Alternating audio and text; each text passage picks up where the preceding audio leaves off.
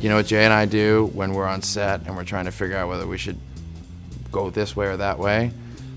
We we grunt. And and mm, eh.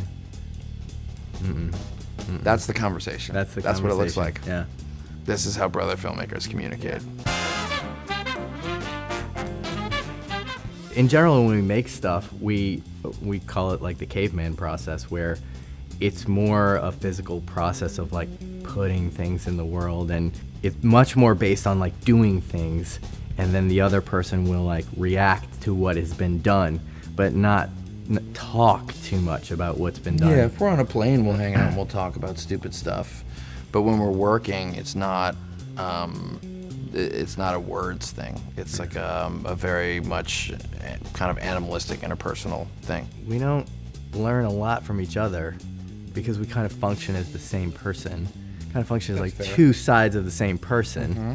There are Almost- aberrations in there, but it's Yeah. pretty much a single force. a single force, and then we sort of polarize within that force. We Yeah. sort of play roles. I don't know where the learning comes from. The learning comes from watching people watch our movies and either laugh or don't laugh Right. or cry or don't Oh, that cry. wasn't funny. That wasn't I learned funny. something. Yeah.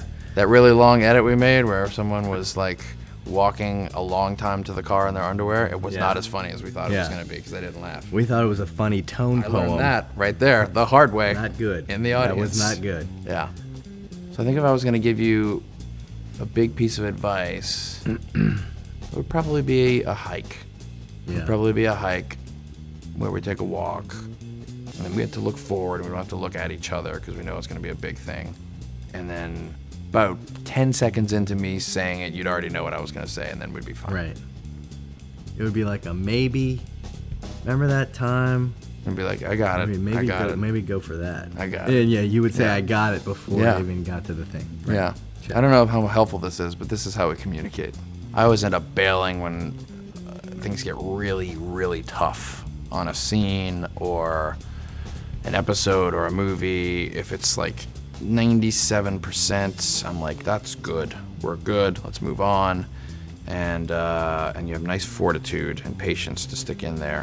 One time when I was about seven and Jay was 11, and our friend Brant Pratt was nine, who uh, was a bit of an interloper in our relationship. Um, he came between us, and it was difficult at times because Jay wanted to play with him a little bit more than me because I was just younger.